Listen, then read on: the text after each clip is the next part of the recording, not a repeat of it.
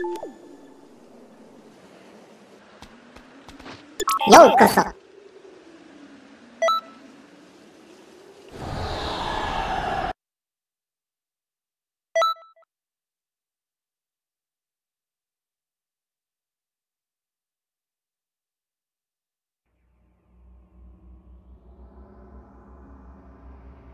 ご苦労様トランクス。連れ。また歴史改変が起きたんですかそうなんじゃよ。まだ原因は分かっとらんがの。それはこちらでも調べておくわ。あなたたちには修正をお願いするわね。今回改変が起きたのはビルス様とシャンパ様。二つの宇宙の破壊神が格闘試合を開催した歴史なのよ。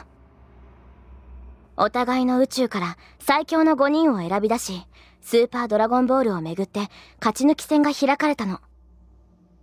スケールの大きな試合ですね。どちらが勝ったんですか？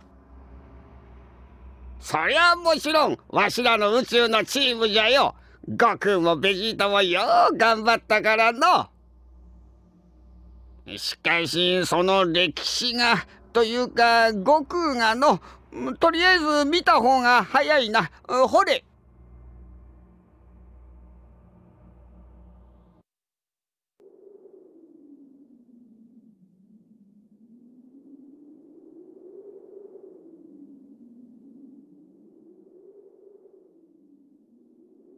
おいあいつはなぜ来ないんだ？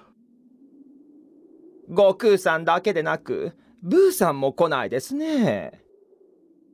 まさかやっぱり面倒になったなんてことはないだろうね。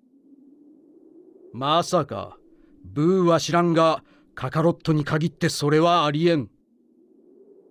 そうだな。誰よりも一番楽しみにしていたはずだこれ以上待っていると開始時間に遅れますよ。先に行きましょう。悟空なしでか？大丈夫ですよ。我々には第七宇宙一強いモナカさんがいるではありませんか。おお前さ皆さん行きますよ。